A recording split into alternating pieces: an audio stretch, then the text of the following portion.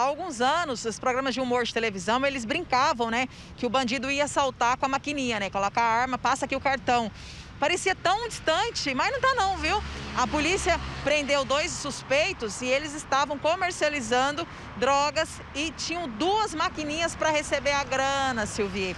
Eles estavam em patrulhamentos ali, os policiais em patrulhamento ali na região de Trindade de Leste, ali na região mais específica do Ponta Caiana, quando eles viram um homem escorado em outro em um carro, né? E quando a polícia se aproximou, ele correu, mas não adiantou não. Ao meu lado aqui está o aspirante oficial Dias Carneiro. Para a gente falar mais sobre essa ocorrência, é correr, entrou dentro da, correu, entrou dentro do estabelecimento, tentou fechar a porta, mas não teve jeito não. A polícia chegou nele.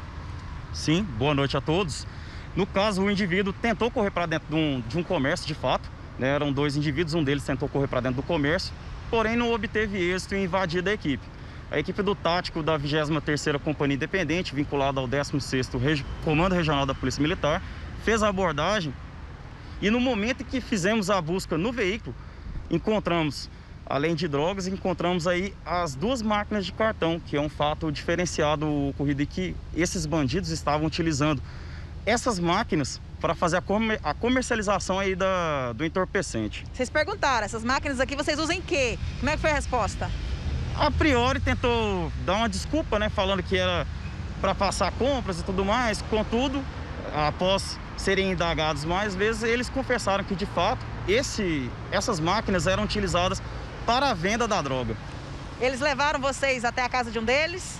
Sim, a partir do momento que foram encontradas algumas porções de droga, de maconha e cocaína dentro com um dos indivíduos, o que havia evadido, e as máquinas de cartão, débito, crédito dentro do veículo, eles confessaram que havia mais drogas em uma casa no Jardim Decolores, em Trindade também, e daí a equipe do tático deslocou até o local e encontrou aí o tablete de maconha e diversas outras porções de droga, papel filme para embalagens e além de uma faca utilizada aí para fracionar o entorpecente.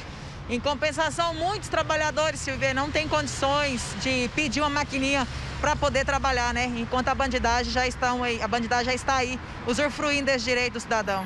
É terrível. Eu fico imaginando o que, que fica a relação ali da compra, né? Que quando a gente passa o cartão, vem, né? Na fatura. O que, que será que está escrito na então, fatura? Eu me perguntei. O que, que vem lá no extrato do cartão? Pagamento de quê? pois é. Isso aí é até um, uma curiosidade, né? Porque a ousadia desses bandidos hoje é inacreditável. Felizmente, a Polícia Militar não descansa e vai sempre coibir, sempre coibir essas práticas.